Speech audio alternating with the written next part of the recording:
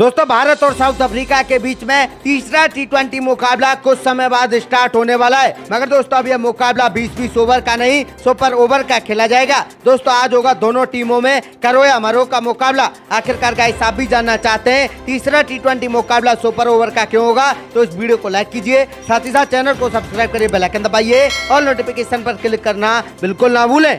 दोस्तों, जैसा कि आप सभी को पता है कि पहले तो भारतीय टीम का सामना हुआ ऑस्ट्रेलिया से, जबकि ऑस्ट्रेलिया की टीम को तीन टी मैचों की सीरीज़ में भारतीय टीम ने दो एक से राउंड डाला। और अब भारत और साउथ अफ्रीका के बीच में तीन टी मैचों की सीरीज़ खेली जा रही है, जिसके लगातार दो मुकाबले भारतीय टीम ने बड़े अंतर से जीत लिए और इस सीरीज़ को भी अपने नाम कर लिया है। लेकिन दोस्तों, अब तक भारत और साउथ अफ्रीका के बीच में टोटल 22 टी मुकाबले खेले जा चुके हैं, जिनमें से 13 मुकाबले भारतीय टीम ने जीते तो वहीं आठ मुकाबलों को साउथ अफ्रीका की टीम जीत पाई है। लेकिन अब बारी है तीसरे टी मुकाबले की, जो की कुछ समय बाद इंदौर के मैदान पर भारतीय समय अनुसार सात बजे ऐसी स्टार्ट हो जाएगा। लेकिन दोस्तों, आपको बता दें, इंदौर के मैदान पर बारिश के आसार बहुत ज़्यादा है। अगर बारिश साढ़े सात बजे तक रुकने का नाम नहीं लेती है तो इस मुकाबले को आठ बजे बारह बारह ओवर का खेला जाएगा। अगर फिर भी आठ बजे से नौ बजे तक बारिश रुकने का नाम नहीं लेती है तो इस मुकाबले को साढ़े नौ बजे दस दस ओवर का खेला जाएगा। अगर फिर भी दस बजे से और ग्यारह बजे तक बारिश रुकने का नाम नहीं लेती है। तो इस मुकाबले को फाइनली